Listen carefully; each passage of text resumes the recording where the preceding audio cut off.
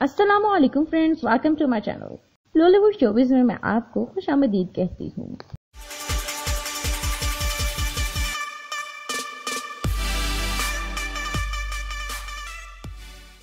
दोस्तों, चार साल बाद फिर से वही हादसा पेश आया है, जो अमजद साबरी के साथ पेश आया था। अमजद साबरी को चार साल पहले ऐसे ही तशद का निशाना बनाकर मार दिया गया था। उन्हें टारगेट किलिंग का निशाना बनाया गया और वो इस जहान फहानी से कूच कर गए।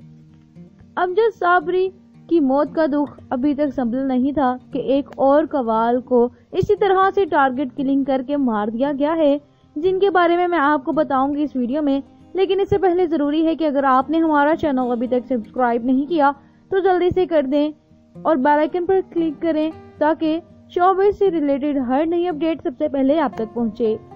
दोस्तों मशहूर कवाल जो बहुत बड़े इवेंट्स भी करते हैं और उनकी कवालियाँ हर घर में सुनी जाती हैं। दादा के दरबार चिड़ियाँ बोल दिया। वाली कवाली उनकी सबसे ज़्यादा मशहूर है और फैंस उसको बहुत ज़्यादा पसंद करते हैं। शहर मियाँ दाद को आज टारगेट किलिंग का निशाना बनाकर मार दिया गया है। उन्हें गोलियों से छन्नी कर दिया और जब तक हॉस्पिटल लेके जाया गया तो वह जख्मों की ताब ना ला सके और वहीं पर वफात पा गए। इस जहान को छोड़कर अगले जहान में चले गए। हमारी दुआ है कि अल्लाह ताला उनके घर वालों को सब्र दे और हमारी हुकूमत को इतना हौसला दे कि वो जिस तरह से चार साल पहले के मुजरिमों को नहीं पकड़ पाए, इस दफ़ा वो ज़रूर पकड़ पाए। ये कोई छोटी बात नहीं है। तहरीक अपने आप को दोहराती जा रही है और कोई कुछ भी नहीं कर रहा। दोस्तों, आपको भी मेरी तरह इनके बारे में सुनकर बहुत ज़्यादा दुख हुआ होगा, क्योंकि ना इंसाफी हमारे मुल्क में बढ़ती ही चली जा रही है।